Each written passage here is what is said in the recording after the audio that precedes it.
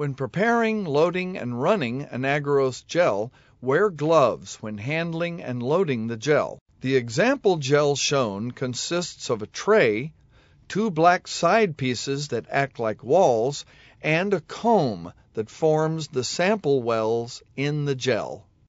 Remove the black side pieces of the side tray. Then remove the comb by pulling it straight out of the gel. Be careful not to damage the gel while doing this. Place the gel in the electrophoresis apparatus. This apparatus has notches that correspond to tabs in the gel tray that fits two gels at the same time. The wells of each gel will be closer to the cathode, or the negatively charged part of the apparatus, colored black, than to the anode, or positively charged part of the apparatus. Fill the apparatus with running buffer until the gels are completely submerged. The buffer contains salts that will eventually distribute the voltage over the entire gel. You are now ready to load samples into the wells. To load a sample, adjust a micropipetter to the correct volume and add a clean tip.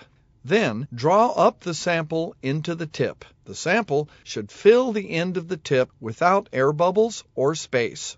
If there is an air space, push the sample all the way to the end of the tip before loading the gel. Standing above the gel, locate the well that you will load. Position the tip so that it is below the surface of the running buffer and above the well. For the best results, do not insert the tip far enough to touch or puncture the bottom of the well. Expel the sample in a fluid motion and push the plunger only to the first stop. Keeping the plunger depressed, remove the tip from the running buffer. Again, pipetting out your sample too quickly may cause air bubbles or cause the sample to flow out of the well. Repeat this process to load the rest of your DNA samples.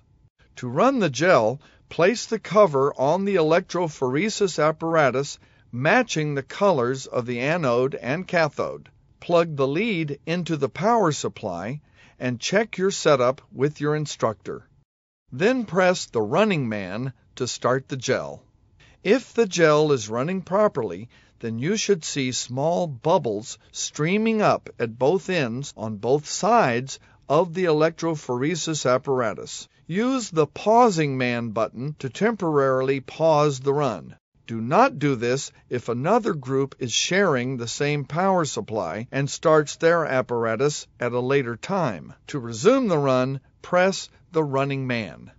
At the end of your run, press the stop button to stop the gel. Then turn off the power and remove the cover to disassemble the apparatus.